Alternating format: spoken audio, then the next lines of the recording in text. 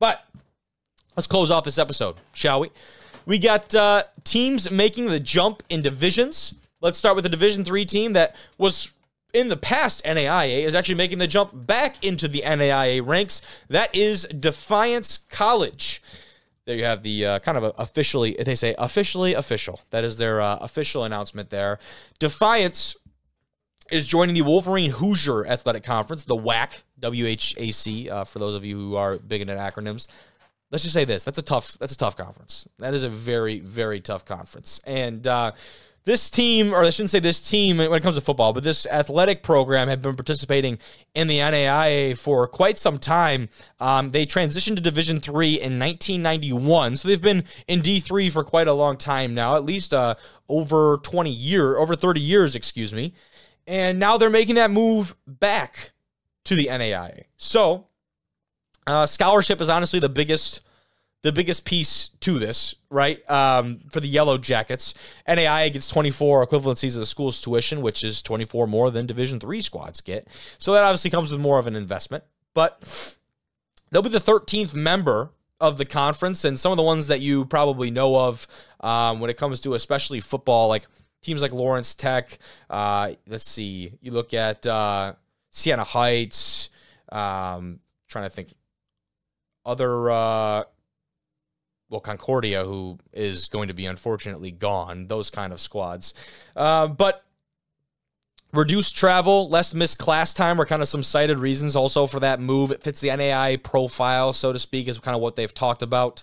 And um, that's just kind of the news. That, that's really kind of the news. The tough conference. I'm going to show you guys their schedule for this upcoming season before we move on and talk about a couple other teams here. This is the 24 schedule uh, for them, and I mentioned Concordia. This is obviously their last year of uh, a football program operating. That's their opener against Defiance. Then they'll go play St. Francis. You're talking about right off the rip, man. Hey, welcome to NAIA. You're going to play two top 20, potentially top 25 teams in the country right off the rip. That hurts. Uh, Judson, Siena Heights, you got Manchester on there. Then here we go again. St. Xavier, tough one. Rose-Hulman, you got Madonna, Taylor, Hanover, and then Bluffton to close things out. So they keep a a D3. I believe Bluffton is D3. That's a D3 opponent on there. But not an easy draw if you are uh, if you're Defiance in that first year going back to the NAIA. We'll see uh, what happens for them. But excited for the Yellow Jackets and making that move and uh, joining the NAIA ranks. The next squad we'll talk about Sul Ross State. We have talked about a little bit on this program. They're Division Three. Well, they were until today. Now they're in the Lone Star Conference at the NCAA Division Two level. Big time move for I believe is the Lobos. I want to say it is. It is the Lobos. This is a look at their schedule for 24, and the Lone Star Conference obviously no slouch. Once again, open up with West Texas A&M. That's going to be a tough one. It is a home game for them. You got Eastern New Mexico, Wayland Baptist. You go, you have, you have Western Oregon at home, which is nice. Then here we go into a little bit of a tough stretch. Got Midwestern State, uh, Western. You got Angelo State. Another one against Eastern New Mexico, and you close out the year with the two teams that were in the Lone Star Championship just a year ago at Central Washington, and then versus UTPB.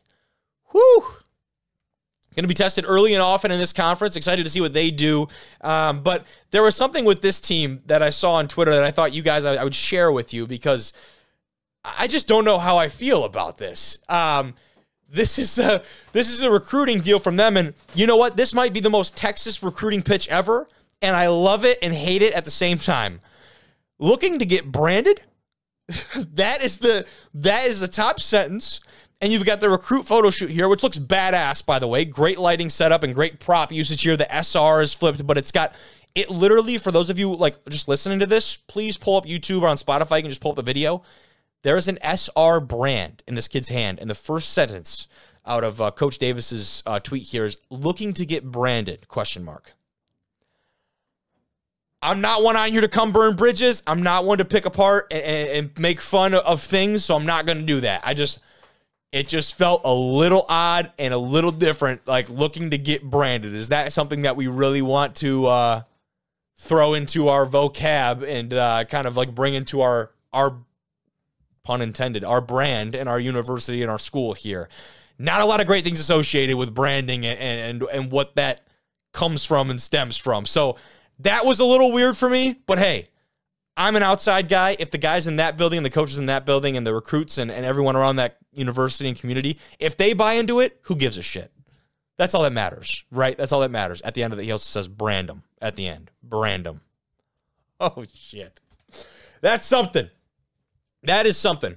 We'll move on from that, though, into uh, potentially the best GIF usage out of uh, any recent tweets that I've seen. Roosevelt, the team that we talked about, are these three probably the most on this program. They become the 11th member of the GLIAC officially today, as of July 1st. This is the tweet from Coach Borghardt. Officially official. The Chicago's Division Two team is locked in and ready to make waves in the city.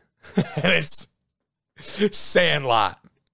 Jump in the pool, making waves, making a splash. He's the offensive coordinator over there at Roosevelt. And guess what, coach? You just earned yourself a follow, good sir. That was uh, that was very good uh, GIF usage. I appreciate that. Here is the uh, the little graphic that the GLIAC put out. Eleventh member of the GLIAC for Roosevelt. We've talked about uh, their schedule. I'll put it up on the screen. We have talked about that earlier, um, so I won't really go through uh, too much in depth. But here is just a look at their schedule as I kind of talk about this move for them. When it comes to their physical location, I mean, you talk about Chicago and the footprint of the GLIAC and where this conference is moving. That's big time. Like the GLIAC used to have teams. in Illinois, in uh, Ohio, in uh, Indiana, all those other kind of places. Now it's just Michigan right? It's upper and lower peninsula, but it's just Michigan. So for them to branch back out and extend their footprint out into Chicago, I think is huge for the conference. It's also just great for a conference that has just been admittedly struggling to fill up schedules, which good and bad, right? Good for some teams that want to go out of conference and schedule some big time competition, but it's a lot of work. It's a lot of work for these schools when there's only what seven football playing schools in the conference before Roosevelt's added here. Let's see two, three, four, five, six, seven schools. Yep, okay, I did a little math there, a little counting. Um, but it's tough when you don't have enough member institutions to fill up a schedule. A lot of conferences don't operate like that. So this is a big time move for uh, for the GLIAC. They were provisional members in 2022, and now it's uh, it is officially official. They've been in the NAIA for 14 seasons, and now they've officially made the jump to NCAA Division Two. They got 14 sports too. Football is not the only one, so they're across you know all across the board. So there we go.